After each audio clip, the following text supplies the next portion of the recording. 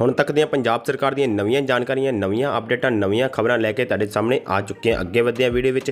ਹਾਂਜੀ ਮੀਟਿੰਗ ਦੌਰਾਨ, ਜੋ ਕੈਬਨਿਟ ਮੀਟਿੰਗ ਦੌਰਾਨ ਲੈ ਕੇ ਅਹਿਮ ਫੈਸਲਿਆਂ ਬਾਰੇ ਜਾਣਕਾਰੀ ਤੁਹਾਡੇ ਨਾਲ ਸਾਂਝੀ ਕਰਦੇ ਹਾਂ। ਜੇਕਰ ਤੁਸੀਂ ਆਪਣੇ ਵੀਡੀਓ ਤੇ ਪਹਿਲੀ ਵਾਰੀ ਆਏ ਹੋ, ਆਪਣੇ ਚੈਨਲ ਨੂੰ ਪਹਿਲੀ ਵਾਰੀ ਵੇਖ ਰਹੇ ਹੋ, ਤਾਂ ਤੁਸੀਂ ਆਪਣੇ ਚੈਨਲ ਨੂੰ ਸਬਸਕ੍ਰਾਈਬ ਕਰਕੇ ਵੀਡੀਓ ਨੂੰ ਲਾਈਕ ਜ਼ਰੂਰ ਕਰ ਲਿਆ ਜੇ ਤਾਂ ਜੋ ਪੰਜਾਬ ਸਰਕਾਰ ਦੀਆਂ, ਕੇਂਦਰ ਸਰਕਾਰ ਦੇ ਜ਼ਰੂਰੀ ਜਾਣਕਾਰੀਆਂ, ਸਕੀਮਾਂ ਤਹਿਤ ਕੋਈ ਵੀ ਨਵੀਂ ਅਪਡੇਟ ਤੁਹਾਡੇ ਤੱਕ ਪਹੁੰਚ ਸਕੇ। ਚਲੋ ਜੀ ਅੱਗੇ ਵਧਦੇ ਹਾਂ।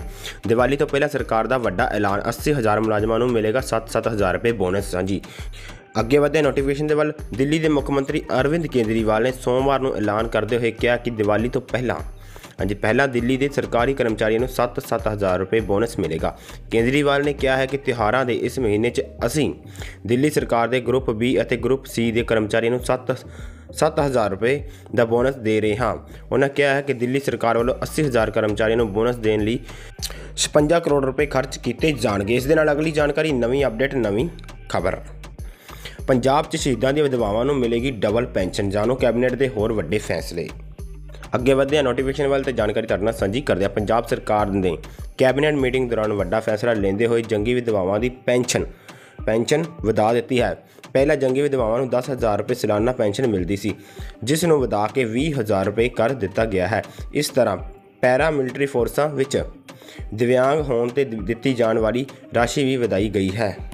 ਇਸ ਦੇ ਨਾਲ ਅਗਲੀ ਅਪਡੇਟ, ਅਗਲੀ ਖਬਰ। ਪੰਜਾਬ ਦੇ ਬਜ਼ੁਰਗਾਂ ਨੂੰ ਦੀਵਾਲੀ ਤੋਂ ਪਹਿਲਾਂ ਵੱਡਾ ਤੋਹਫਾ ਸਰਕਾਰ ਨੇ ਸ਼ੁਰੂ ਕੀਤੀ ਨਵੀਂ ਸਕੀਮ। ਹਾਂਜੀ, ਜੋ ਨਵੀਂ ਸਕੀਮ ਸ਼ੁਰੂ ਕੀਤੀ, ਉਸ ਦੇ ਬਾਰੇ ਜਾਣਕਾਰੀ ਤੁਹਾਡੇ ਨਾਲ ਸਾਂਝੀ ਕਰਦੇ ਹਾਂ। ਪੰਜਾਬ ਦੇ ਮੁੱਖ ਮੰਤਰੀ ਭਗਵੰਤ ਮਾਨ ਵੱਲੋਂ ਦੀਵਾਲੀ ਦੇ ਸੂ- ਸੂਬੇ ਦੇ ਲੋਕਾਂ ਨੂੰ ਵੱਡਾ ਤੋਹਫਾ ਦਿੱਤਾ ਗਿਆ ਹੈ। ਕੈਬਨਿਟ ਮੀਟਿੰਗ 'ਚ ਮੁੱਖ ਮੰਤਰੀ ਤੀਰਥ ਯਾਤਰਾ ਸਕੀਮ ਨੂੰ ਮਨਜ਼ੂਰੀ ਦਿੱਤੀ ਗਈ ਹੈ।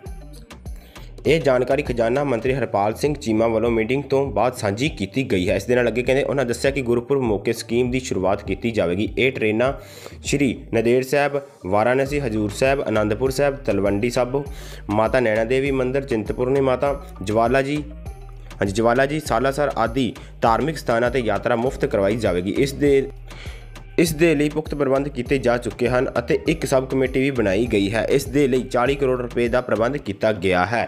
ਨਵੀਂ ਜਾਣਕਾਰੀ, ਨਵੀਂ ਅਪਡੇਟ ਜੋ ਹੁਣ ਤੱਕ ਸਾਡੇ ਤੱਕ ਪਹੁੰਚੀ ਤਰਨਾ ਸਾਂਝੀ ਕਰ ਚੁੱਕੇ ਹਾਂ। ਅੱਗੇ ਪੰਜਾਬ ਸਰਕਾਰ ਦੀ ਨਵੀਆਂ ਮੀਟਿੰਗਾਂ ਜਾਂ ਨਵੀਆਂ ਜਾਣਕਾਰੀਆਂ, ਨਵੀਆਂ ਸਕੀਮਾਂ ਦੀ ਜਾਣਕਾਰੀ ਤੁਸੀਂ ਡੇਲੀ ਆਪਣੇ ਤੱਕ ਪਹੁੰਚਾਉਣ ਲਈ, ਆਪਣੇ ਤੱਕ ਪ੍ਰਾਪਤ ਕਰਨ ਵਾਸਤੇ ਤੁਸੀਂ ਆਪਣੇ ਚੈਨਲ ਨੂੰ ਸਬਸਕ੍ਰਾਈਬ ਜ਼ਰੂਰ ਕਰ ਲਿਆ ਜੀ।